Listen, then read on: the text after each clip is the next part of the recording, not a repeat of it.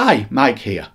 Last week I was delivering Excel training to a large group and I was showing how to create custom lists for sorting. I was doing this on a Windows machine and somebody put into the chat in Zoom that they were using a Mac and couldn't find the option that I was talking about. So after I'd shown them and after the training, I thought that's probably a good topic for a quick video. If you want to follow along, you can download a copy of the demo file from the link in the description below. Before I dive into creating a custom list, let's just review sorting.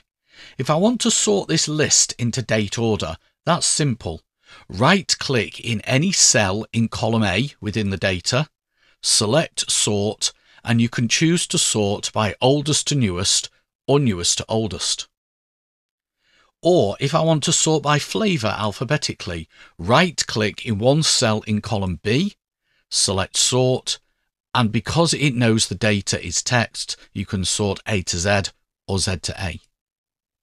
But what if I want to sort this list by location, but in a specific order? I don't want it alphabetical. Suppose I want Los Angeles and Seattle, the West Coast stores, first, followed by New York, Boston, and Delaware, the stores located on the East Coast.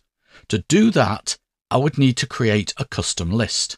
In Excel on Windows, you can do that from inside the Custom Sort dialog box by clicking on the drop down in the Order field and selecting Custom List and then selecting New List. Unfortunately, you can't do it this way on the Mac. I can right click in a cell and select Sort and then go to custom sort. I can even click on the drop down in the order column and go to custom list. But what I don't have is an option to create a new list. So this is what I'm going to do on the Mac. I'm going to click on the Excel option on the menu bar right at the top and go to Preferences.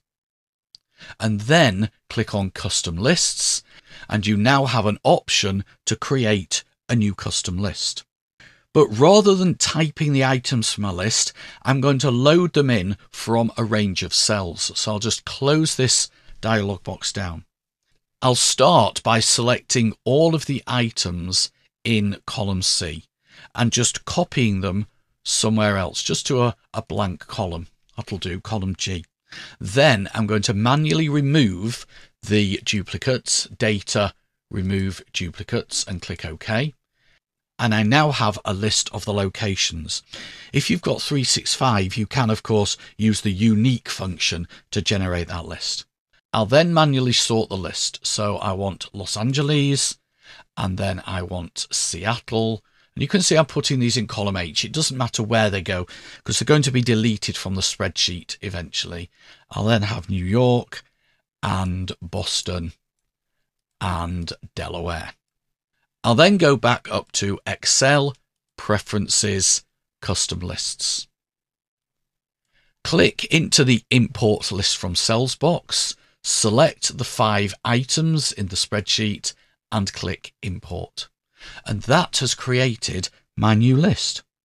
I can then close down the dialog box, the Custom Lists dialog box, and delete the location names from the spreadsheet.